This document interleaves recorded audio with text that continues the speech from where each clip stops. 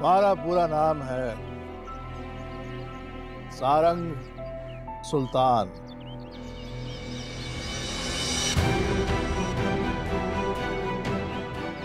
तुम सारंग हो